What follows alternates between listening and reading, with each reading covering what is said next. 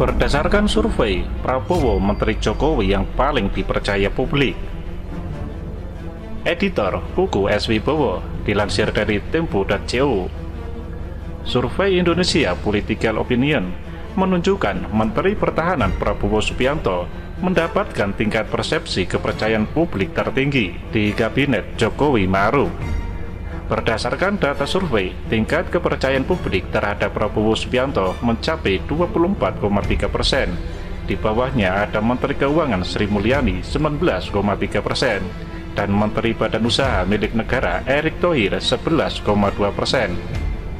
Prabowo Subianto dianggap paling sesuai duduk menjadi Menteri Pertahanan, ujar Direktur Indonesia Political Opinion, Dedi Kurnia Syahputra. Dia memaparkan hasil risetnya dalam sebuah acara diskusi di Bilangan Menteng, Jakarta Pusat pada Sabtu 23 November 2019.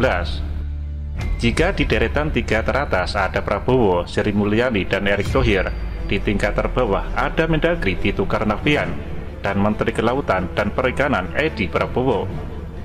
Paling kecil kepercayaan masyarakat terhadap Tito Karnavian menjadi Mendagri dengan angka tingkat kepercayaan 1,0% dan Edi Prabowo 0,7%. Mereka dianggap tidak mumpuni di bidangnya saat ini, ujar Dedi. Survei dilakukan pada akhir 30 Oktober hingga 2 November 2019. Jumlah responden sebanyak 800 orang yang tersebar di 27 provinsi. Metode wawancara menggunakan kuesioner dengan margin of error sekitar 4,5 persen. Pertanyaan yang diberikan yakni apakah toko dalam kabinet Jokowi dirasa sesuai dengan kementeriannya. Hasilnya, Prabowo Subianto yang dulu merupakan pesaing Jokowi di Pilpres 2019 mendapat kepercayaan publik tertinggi.